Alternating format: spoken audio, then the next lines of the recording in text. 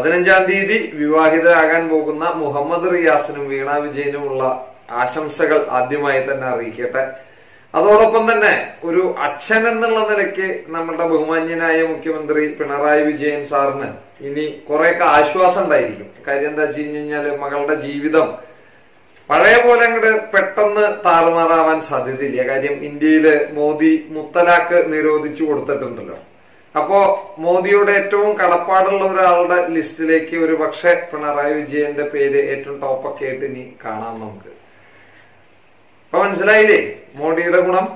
രണ്ടായിരത്തി നാലിൽ നരേന്ദ്രമോദി അധികാരത്തിൽ കയറിയ കാലം മുതൽക്ക് തന്നെ സ്പെസിഫിക്കലി അതിന് മുമ്പ് ഉണ്ടായിരുന്നു അത് ഈ പറയുന്ന നരേന്ദ്രമോദി അധികാരത്തിൽ വന്നതിന് ശേഷം നമ്മുടെ രാജ്യത്തെ മാധ്യമങ്ങളൊക്കെ തന്നെ ഒരു പ്രത്യേക അജണ്ട വെച്ചിട്ടാണ് ഇവിടെ റിപ്പോർട്ടിംഗ് എന്ന് പറയുന്ന അവരുടെ കലാപരിപാടി നടത്തിക്കൊണ്ടിരിക്കുന്നത്. സത്യത്തെ മറച്ചു പിടിക്കുക. സത്യത്തെ തന്നെ അസത്യമാകുന്ന രീതിയിൽ വളച്ചൊടിച്ച് പ്രസന്റ് ചെയ്യുക. ആളുകളെ ടോട്ടലി കൺഫ്യൂസ് ചെയ്യുന്ന രീതിയിൽ പുതിയ പുതിയ വാർത്തകൾ പടച്ചുവിടുക. ഇത്തരത്തിലുള്ള ഒരു ഒരു അജണ്ട ബേസ്ഡ് മാധ്യമ പ്രവർത്തനമാണ് നമ്മുടെ നാട്ടിൽ ധാരാളമായിട്ട് ഇപ്പൊ മാധ്യമങ്ങളുടെ ഭാഗത്തു നിന്ന് കണ്ടുവരുന്നത്. കഴിഞ്ഞ കുറച്ച് ദിവസങ്ങളായിട്ട് ഇന്ത്യയിലെ പത്രദൃശ്യ മാധ്യമങ്ങളുടെ ഒരു റിപ്പോർട്ടിംഗ് ശൈലി നോക്കിയാൽ നമുക്ക് ഒരു കാര്യം മനസ്സിലാകും. ഈ കൊറോണ വിഷയവുമായിട്ട് ബന്ധപ്പെട്ടിട്ട് നമ്മുടെ നാട്ടിലെ ഏതൊക്കെ ഇൻഡെക്സ് ആണോ ഈ ഈ രോഗവ്യാപനവുമായി ബന്ധപ്പെട്ട ഏതൊക്കെ ഇൻഡെക്സിലാണോ ഭാരതം പുറകിലുള്ളത് അത് ഹൈലൈറ്റ് ചെയ്ത് കാണിക്കാനും ഏതൊക്കെ വിഭാഗത്തിലാണോ ഭാരതം മറ്റു ലോകരാഷ്ട്രങ്ങളെക്കാൾ ബഹുദൂരം മുന്നിലുള്ളത് അതിനെ പറ്റിയിട്ട് കമശിവ എന്നൊരു അക്ഷരം മിണ്ടാതിരിക്കാനും ഇവിടുത്തെ മാധ്യമങ്ങൾ പ്രത്യേകം ശ്രദ്ധിച്ചു വരുന്നതായിട്ട് നമുക്ക് അവരുടെ ഒരു റിപ്പോർട്ടിംഗ് ശൈലി നോക്കി കഴിഞ്ഞാൽ മനസ്സിലാവും. ഫോർ എക്സാമ്പിൾ ലോകത്തെ ഏറ്റവും അധികം ക്രിട്ടിക്കൽ രോഗികളുള്ള ക്രിട്ടിക്കൽ രോഗികളുടെ കണക്ക് വെച്ച് ഉള്ള ഇൻഡെക്സിൽ ഭാരതം ഇറ്റലിയെ മറികടന്നിരിക്കുന്നു. ബോംബെ ചൈനയെ മറികടന്നിരിക്കുന്നു. ഇത്തരത്തിലുള്ള വാർത്തകൾ നമ്മളുടെ പത്രദൃശ്യ മാധ്യമങ്ങളിൽ ധാരാളം വരുന്നുണ്ട്.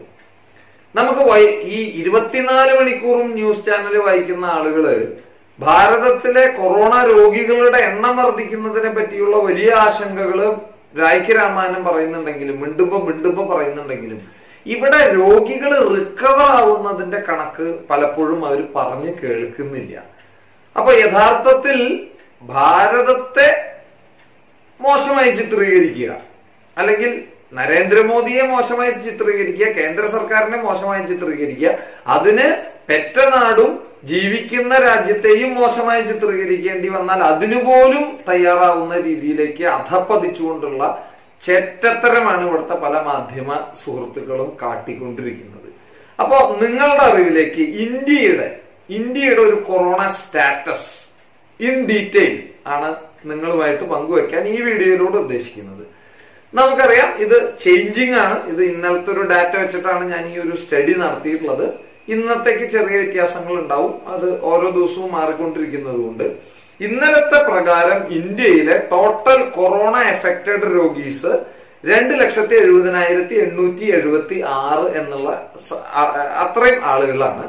അതിനകത്ത് ആക്റ്റീവായിട്ട് നിൽക്കുന്നത് അതായത് മറ്റേ ആശുപത്രിയിൽ ചികിത്സയിലുള്ള കൊറോണ ഇപ്പോഴും കൊറോണ രോഗിയായിട്ട് തുടരുന്ന ആളുകൾ ഏതാണ്ട് ഒരു ലക്ഷത്തി മുപ്പത്തി ഓരായിരത്തി തൊള്ളായിരത്തി ഇരുപത്തി ഏഴ് ആണ്. രോഗമുക്തി നേടിയവർ അതായത് നമ്മുടെ മാധ്യമങ്ങൾ മറ്റേ എപ്പോഴും മറന്നു പോകുന്ന ഇത് രോഗമുക്തി നേടിയവര് ഒരു ലക്ഷത്തി മുപ്പത്തോരായിരത്തി മുന്നൂറ്റി എൺപത് പേരാണ്. ഏഴായിരത്തി അഞ്ഞൂറ്റി അമ്പത്തിനാല് മരിച്ച ആളുകളുടെ നമ്പറാണ്. ഇതൊന്നും ചെറിയ നമ്പർ എന്നല്ല ഞാൻ പറയുന്നത്. പറയുമ്പോൾ എല്ലാം പറയണം. ചിലത് മാത്രം മറച്ചു പിടിച്ചുകൊണ്ട് ചിലതിന് മാത്രം ഹൈലൈഷൻ കൊടുത്തുകൊണ്ട് പറയുന്ന രീതി തീർത്തും തെറ്റായ രീതിയാണ്. പ്രത്യേകിച്ചും ഈ കൊറോണ കാലത്ത്. ഇനി നമ്മൾ ഒരു കാര്യം മനസ്സിലാക്കേണ്ടത്. ഇന്ത്യയിലെ ഈ രണ്ട് ലക്ഷത്തി എഴുപതിനായിരത്തി എണ്ണൂറ്റി എഴുപത്തി ആറ് എന്ന് പറയുന്ന സംഖ്യ ഒരു നൂറ്റി നാൽപ്പത് കോടി ജനസംഖ്യയുള്ള രാജ്യത്ത് കൊറോണ എഫക്ട് ചെയ്ത ഒരു രോഗികളുടെ എണ്ണമാണ്. ഇതുമായിട്ട് കമ്പയർ ചെയ്യുന്നത് Spain Italy Germany U K തുടങ്ങിയിട്ടുള്ള രാജ്യങ്ങളുമായിട്ടാണ്. നമുക്കറിയാം യു കെയിലെ ജനസംഖ്യ ആറ് കോടി ശിഷ്ടമാണ്.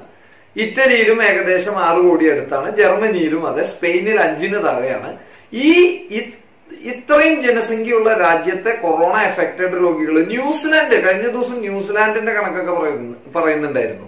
തികച്ചും ഒരു കോടി ജനസംഖ്യ ഇല്ലാത്ത രാജ്യമാണ് ന്യൂസിലാൻഡ്. അവിടത്തേക്ക് ഡാറ്റ വെച്ചിട്ട് ഇവിടത്തെ ഈ ലോകത്തെ ഏറ്റവും വലിയ രണ്ടാമത്തെ ജനസംഖ്യയുള്ള രാജ്യമായിട്ട് കമ്പയർ ചെയ്യുന്നത് തന്നെ വലിയ ഭോഷ്കത്തരം എന്നല്ലാതെ പറയാൻ വയ്യ.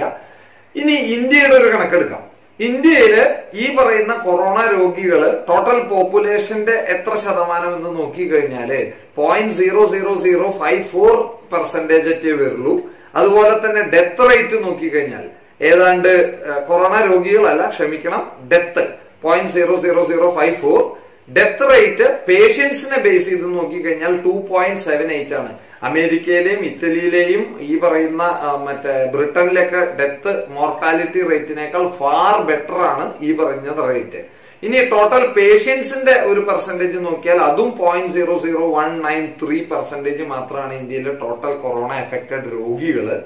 ഇനി ഇതിൽ തന്നെ ഈ രണ്ട് ലക്ഷത്തി എഴുപതിനായിരത്തി എണ്ണൂറ്റി എണ്ണൂറ്റി എഴുപത്തി ആറിൽ ഒരു ലക്ഷത്തി എൺപത്തി അയ്യായിരത്തി നാനൂറ്റി അമ്പത് പേര് ഏതാണ്ട് എഴുപത് ശതമാനം ആളുകൾ മഹാരാഷ്ട്ര തമിഴ്നാട് ഡൽഹി ഗുജറാത്ത് രാജസ്ഥാൻ എന്നീ സംസ്ഥാനങ്ങളിൽ നിന്ന് മാത്രം ഉള്ള ആളുകളാണ്. ഇനി നമുക്ക് ഓ ഈ നാല് സംസ്ഥാനങ്ങൾ അല്ലെങ്കിൽ മഹാരാഷ്ട്ര തമിഴ്നാട് ഗുജറാത്ത് ഈ ഒരു ഒരു മൂന്ന് സംസ്ഥാനങ്ങളുടെ കൃത്യമായിട്ടുള്ള ഒരു അനാലിസിസും കൂടി ഒന്ന് നടത്തിയാൽ നിങ്ങൾക്ക് ഇതിന്റെ ക്ലിയർ കട്ട് ആയിട്ടുള്ള ഒരു പിക്ചർ കിട്ടും. മഹാരാഷ്ട്രയിലെ ഏതാണ്ട് എൺപത്തി എട്ടായിരം ആളുകളാണ് കോവിഡ് ബാധിച്ച് നിലവിലെ ടോട്ടൽ നമ്പർ ഉള്ളത്. ഈ എൺപത്തി എട്ടായിരം ആളുകളിൽ ഏതാണ്ട് അമ്പത്തോരായിരം ആൾ ബോംബെ എന്ന് പറയുന്ന ഡിസ്ട്രിക്റ്റിൽ നിന്നുള്ള ആൾക്കാരാണ്. മുംബൈ സോറി ബോംബെ അല്ല മുംബൈ. രണ്ടാമത് നിൽക്കുന്ന താനെ എന്ന് പറയുന്ന ഡിസ്ട്രിക്റ്റിൽ പതിനാലായിരം രോഗികളാണുള്ളത് പൂനെയിൽ പത്തായിരം രോഗികളാണുള്ളത്. മഹാരാഷ്ട്രയിലെ നാലാം സ്ഥാനത്ത് നിൽക്കുന്ന ഡിസ്ട്രിക്റ്റ് ആയിട്ടുള്ള ഔറംഗബാദിൽ കേവലം രണ്ടായിരം രോഗികൾ മാത്രമാണുള്ളത്. അതായത് ബോം ഒന്നാം സ്ഥാനത്ത് നിൽക്കുന്ന ബോംബെയിൽ അമ്പത്തോരായിരം കേസുകൾ ഉണ്ടെങ്കിൽ നാലാം സ്ഥാനത്ത് നിൽക്കുന്ന ഔറംഗബാദിൽ കേവലം രണ്ടായിരം കേസുകൾ മാത്രമേ ഉള്ളൂ. ബോംബെയിൽ നമുക്കറിയാം സോറി മഹാരാഷ്ട്രയിൽ നമുക്കറിയാം മുപ്പത്തി ആറ് ഡിസ്ട്രിക്റ്റ് ആണുള്ളത്. ഈ പറയുന്ന നാല് ഡിസ്ട്രിക്റ്റുകൾ കൂടിയിട്ട് ബോംബെയിലെ സോറി മഹാരാഷ്ട്രയിലെ ടോട്ടൽ കേസിന്റെ എൺപത്തി ഒൻപത് ശതമാനം ഈ പറയുന്ന നാല് ഡിസ്ട്രിക്റ്റിൽ നിന്ന് കൂടിയിട്ടുള്ള നമ്പേഴ്സ് ആണ്. എൺപത്തി ഒൻപത് ശതമാനം അതായത് എൺപത്തി എട്ടായിരത്തിൽ എഴുപത്തി എട്ടായിരം ആ രോഗികളും ഈ നാല് ഡിസ്ട്രിക്റ്റിൽ നിന്നാണ്. ഇനി നമുക്ക് തമിഴ്നാടിന്റെ കണക്കെടുത്ത് പരിശോധിക്കാം. തമിഴ്നാട്ടിൽ ഏതാണ്ട് മുപ്പത്തി ഓരായിരം രോഗികളാണ് സോറി ഇരുപത് മുപ്പത്തി അയ്യായിരം രോഗികളാണ് തമിഴ്നാട്ടിൽ കൊറോണ ബാധിതരായിട്ട് ഇപ്പോൾ നിലവിലുള്ളത്. അതിൽ ഇരുപത്തയ്യായിരം രോഗി ചെന്നൈയിൽ നിന്നാണ്. രണ്ടാം സ്ഥാനത്ത് നിൽക്കുന്ന ചെങ്കൽപേട്ടിൽ രണ്ടായിരം രോഗികളാണുള്ളത്. തിരുവള്ളൂർ മൂന്നാം സ്ഥാനത്തുള്ള തിരുവള്ളൂരിൽ ആയിരത്തി നാനൂറ്റി എഴുപത്തി ആറ് രോഗികളും നാലാം സ്ഥാനത്തുള്ള കാഞ്ചീപുരത്ത് അയ്യായി അഞ്ഞൂ അഞ്ഞൂറ്റി ഏഴ് രോഗികളാണുള്ളത്. അതായത് ഒന്നാം സ്ഥാനത്ത് നിൽക്കുന്ന ചെന്നൈയിൽ ഇരുപത്തി അയ്യായിരവും നാലാം സ്ഥാനത്ത് നിൽക്കുന്ന കാഞ്ചീപുരത്ത് അഞ്ഞൂറ്റി ഏഴ് രോഗികളുമാണുള്ളത്. അപ്പോൾ തമിഴ്നാട്ടിലെ മുപ്പത്തിരണ്ട് ഡിസ്ട്രിക്റ്റ് ഉള്ള തമിഴ്നാട്ടിലെ first four constitutes eighty two percentage of total corona affected patients മുപ്പത്തി അയ്യായിരത്തിൽ ഇരുപത്തി ഒമ്പതിനായിരം ഇത്തരത്തിൽ ഈ പറയുന്ന നാല് ഡിസ്ട്രിക്റ്റിൽ നിന്നാണ്.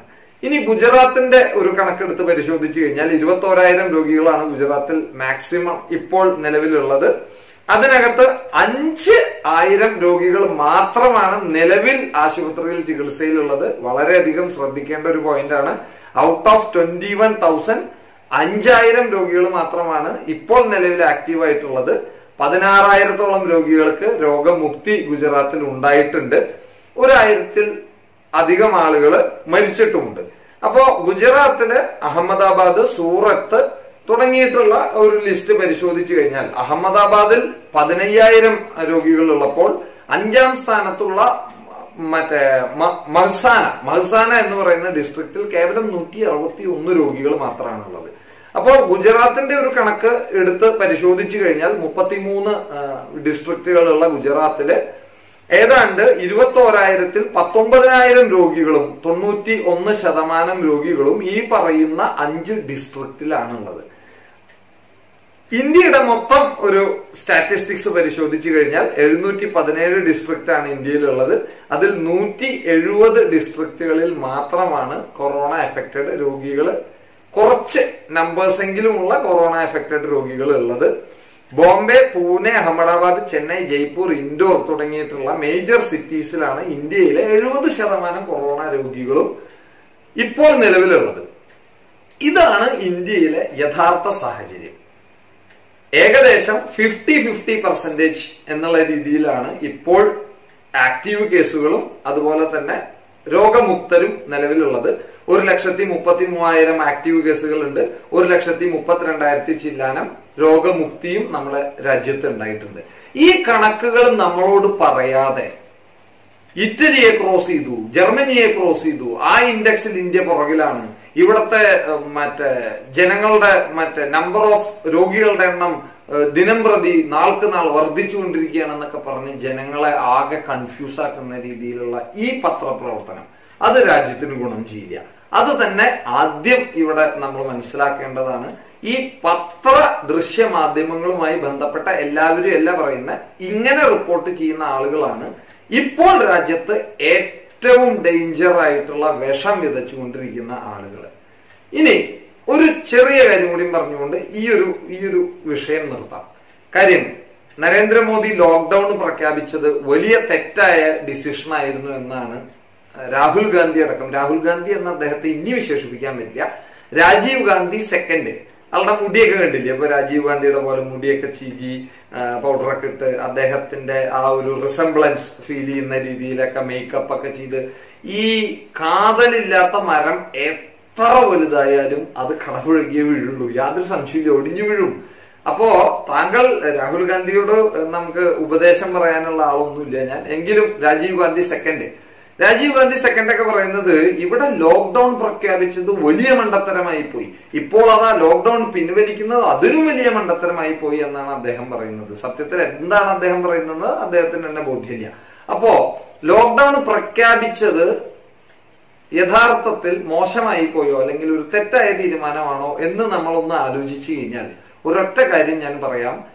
ലോക്ക്ഡൌൺ പ്രഖ്യാപിക്കുന്ന മാർച്ച് ഇരുപത്തിനാലാം തീയതി ഇന്ത്യയിൽ ഒരു പി പി ഇ കിറ്റ് പോലും നിർമ്മിക്കുന്ന സാഹചര്യം ഉണ്ടായിരുന്നില്ല. ഒരു എൻ നയന്റി ഫൈവ് മാസ്ക് പോലും പ്രിപ്പയർ ചെയ്യുന്ന സാഹചര്യം ഉണ്ടായിരുന്നില്ല. ഇവിടുത്തെ ആശുപത്രികൾ എക്യുപ്ഡ് ആയിരുന്നില്ല. ഇവിടുത്തെ വെന്റിലേറ്റർ കപ്പാസിറ്റി എക്യുപ്ഡ് ആയിരുന്നില്ല. ഇവിടുത്തെ ആരോഗ്യ രംഗം എക്യുപ്ഡ് ആയിരുന്നില്ല. അപ്പോ അതായത് അന്ന് മുതൽക്കേ ഇത്തരത്തിലുള്ള ഒരു വലിയ സ്പ്രെഡ് ഭാരതത്തിൽ ഉണ്ടായിരുന്നു അല്ലെങ്കിൽ ഉണ്ടായി എങ്കിൽ തീർച്ചയായിട്ടും നമുക്ക് വലിയൊരു വിപത്ത് നമ്മുടെ രാജ്യത്ത് സംഭവിക്കുമായിരുന്നു. ഇന്ന് ഇപ്പോൾ ലോക്ക്ഡൌൺ ഈസ് ചെയ്യുന്ന സാഹചര്യത്തിൽ അതായത് ജൂൺ എട്ടാം തീയതിയാണ് ആദ്യമായിട്ട് ലോക്ക്ഡൌണിൽ ഇളവുകൾ നൽകുന്നത്. ആ ഇളവുകൾ നൽകുന്ന സാഹചര്യത്തിൽ ഭാരതത്തിലെ ഒരുപാട് ഈ പറയുന്ന കാര്യങ്ങളിലെല്ലാം നമ്മൾ മുന്നിലോട്ട് പോയി. കേവലം കുറച്ച് സ്ഥലങ്ങളിൽ മാത്രം ഒതുങ്ങി നിൽക്കുന്ന ഈ ഭീഷണിയെ. മറ്റെല്ലാ സ്ഥലത്തും ഇതിന്റെ പ്രസൻസ് ഉണ്ടെങ്കിലും ഒരു ഒരു ജില്ല എന്നൊക്കെ പറഞ്ഞാൽ പത്ത് മുപ്പത് ലക്ഷം ആളുകളാണ് ഒരു ജില്ലയിലെ ജനസംഖ്യ. ആ ജനസംഖ്യയിൽ കേവലം പത്തോ പതിനഞ്ചോ എഫക്റ്റഡ് രോഗികളായിരിക്കും. അതിൽ നിന്ന് മറ്റേ രോഗമുക്തി നേടിയിട്ട് അഞ്ചോ പത്തോ ഉണ്ടായിരിക്കും. ബാക്കി അവശേഷിക്കുന്ന മൂന്നോ നാലോ പത്തോ ആളുകൾക്ക് വേണ്ടിയിട്ട് ആ ജില്ലയിലെ ഇരുപത് ലക്ഷം ആളുകളെയും വീട്ടിലിരുത്തുക എന്നുള്ളത് തീർച്ചയായിട്ടും ഒരു മണ്ടത്തരം സ്ട്രാറ്റജിയാണ്. രാഹുൽ ഗാന്ധിക്ക് അത് ചെയ്യണമെന്ന് തോന്നും കാര്യം ഇവിടുത്തെ സമ്പത്ത് വ്യവസ്ഥ തകരണം ഇവിടുത്തെ ആളുകൾക്ക് തൊഴിലില്ലാതെ വരണം ഇവിടുത്തെ ആത്മഹത്യകൾ പെരുകണം ഇവിടുത്തെ കർഷകൻ കുത്തുവാള എടുക്കണം. ഇതാണ് രാഹുൽ ഗാന്ധിയുടെ ആഗ്രഹം. അപ്പോ ആ ആഗ്രഹം വെച്ചിട്ട് അദ്ദേഹം പല കമന്റും പറയും. ഇനി ഇതിന്റെ രോഗവ്യാപനവുമായിട്ട് ബന്ധപ്പെട്ട് സർക്കാർ സംവിധാനത്തിൽ ചെയ്യേണ്ട കാര്യങ്ങളൊക്കെ ചെയ്തു വരുന്നു എന്ന് തന്നെയാണ് നമ്മൾ വിശ്വസിക്കുന്നത്. ഏറ്റവും ലളിതമായിട്ട് ഇത് തുറന്നു കൊടുക്കുന്നു എന്നുള്ളതിന്റെ അർത്ഥം ആരാധനാലയങ്ങൾ മാളുകൾ ഇൻഡസ്ട്രീസ് മറ്റ് കടകൾ ഇതെല്ലാം തുറന്നു കൊടുക്കുന്നു എന്നുള്ളതിന്റെ അർത്ഥം തീവ്ര ബാധിത മേഖലകളിൽ ഇത്തരത്തിലുള്ള ഒരു ഇളവുകളും കൊടുക്കാതെ എഫക്റ്റഡ് അല്ലാത്ത വളരെ മൈന്യൂട്ടായിട്ടുള്ള എഫക്ട് ചെയ്ത ഏരിയകളിൽ പഴയ ആ ഇക്കണോമിക് പ്രോസസ്സും അതുപോലെ ജോലിയും കടകളും ബിസിനസ്സും എല്ലാം തുടങ്ങുന്ന ഒരു സാഹചര്യമാണ് സർക്കാർ ഇപ്പോൾ ചെയ്തിട്ടുള്ളതിന്റെ ഈ ഈസ്നെസ് ലോക്ക്ഡൌൺ ഈസ്നെസ് അത് രാജ്യത്തെ സംബന്ധിച്ച് ഏറ്റവും അത്യാവശ്യവുമാണ്. ഇനി ഈ മാധ്യമങ്ങൾ റിപ്പോർട്ട് ചെയ്യുകയും നമ്മളത് വിശ്വസിക്കുകയും അതിൽ അത് കേട്ടിട്ട് നമുക്ക് പെട്ടെന്ന് പേടി വരികയും ചെയ്യുന്നതിന്റെ ഒരു ചെറിയ എക്സാമ്പിൾ പറയാം. ഞാൻ തൃശ്ശൂർക്കാരനാണ്. കഴിഞ്ഞ ദിവസം ഒരു ഓൺലൈൻ മാധ്യമത്തിന്റെ ഒരു റിപ്പോർട്ട് വന്നു. തൃശൂർ ജില്ലയിൽ ഇനി ഒരു കോവിഡ് രോഗി ഉണ്ടായാൽ എവിടെ ചികിത്സിക്കും? ഇതാണ് അവർ ചോദിച്ചത്. തൃശൂർ മെഡിക്കൽ കോളേജിൽ കോവിഡ് രോഗികൾക്കായി ഒരുക്കിയിരിക്കുന്ന കോവിഡ് വാർഡ് നിറഞ്ഞു കവിഞ്ഞിരിക്കുന്നു.